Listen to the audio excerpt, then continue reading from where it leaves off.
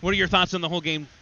Well, I thought it's uh, typical of one of our games. It uh, starts from the goaltender on out. Uh, Blake was obviously absolutely incredible, and then we got timely scoring. That's uh, the other recipe, and then uh, our penalty kill again was was great. So those three uh, things were probably the main the main part of the game. I thought a lot of guys played really well. I really uh, some unsung heroes. I think for sure are Jack Works. I thought he had an outstanding game. Tyrone Bronte Oh, I thought outstanding. had an outstanding game. I thought OC silently had a had a. real- uh, I mean, so many guys played well, but silently those guys. Uh, I thought you know we had a lot of confidence and they gave us a lot of really good shifts back to back. And block, we blocked some shots tonight too, Coach. We seem to get better and better at that as the season goes along. But I thought that was key, especially in the first period. Incredible heart on the team. You know, we're, we're, we're you know we came down here and we're we're playing now for a championship. Yep. So now it's winner take all. W- winner take all tomorrow night and.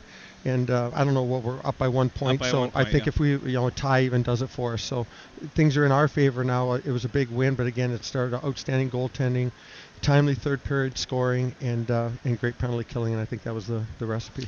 Well, Coach, you put the right guys out there tonight, and uh, congratulations. We, you know, uh, before I let you go, some key draw wins too. We we were struggling on faceoffs, uh, letting them win a lot of clean draws throughout the game. But boy, that the game winner uh, ended up to be a clean win by Logan Fiddle. I thought that was huge to win some of those key draws down the stretch. Yeah, again, our, our guys uh, they seem to have um, they seem to have a, a deep a deep will to win hockey games, um, and and we've said that Our- we're trying to stay in hockey games, and you know 22 wins I think now in the year, so they found a way to win a lot of tight hockey games, and uh, eh, we're very proud. Uh, you know, we just talked in there. It's a it's a subdued locker room. They they they feel good that they we we came and gave us a chance tomorrow now to play for for a championship and. Uh, Again, we can't ask for more than that. Congratulations on the win, Coach. We'll see you tomorrow night. Great, thanks, Dirk.